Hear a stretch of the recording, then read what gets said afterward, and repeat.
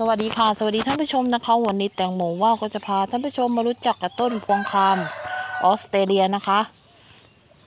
ลักษณะทั่วไปของพวงคามนะคะ ก็เป็นไม้เลื้อยมีเถาใหญ่แข็งแรง เนื้อแข็ง เถาค่อนข้างอ่อนนะคะ มีขนและเมื่อ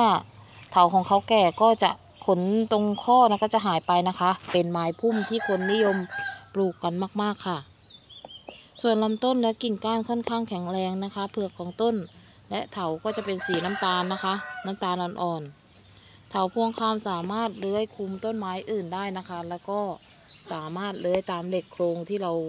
กำหนดให้เขาเลื้อยเขาก็สามารถเลื้อยไปได้นะคะ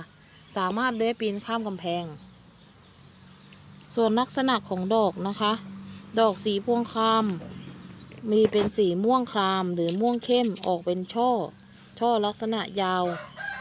15-30 เซนนะคะ แล้วแต่ความสมบูรณ์ของต้น เวลาออกดอกพร้อมกันจะสะพั่งงดงามมากบานได้นานหลายวัน และออกดอกตลอดทั้งปี และออกมากช่วงฤดูหนาวค่ะ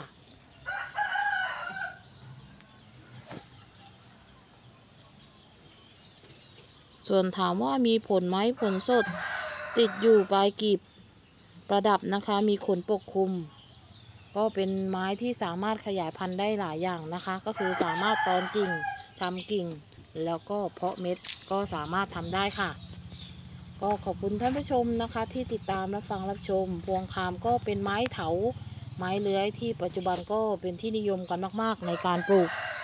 ประดับตกแต่งสีของเขาเป็นม่วงคราม มีความสวยงามเป็นช่อ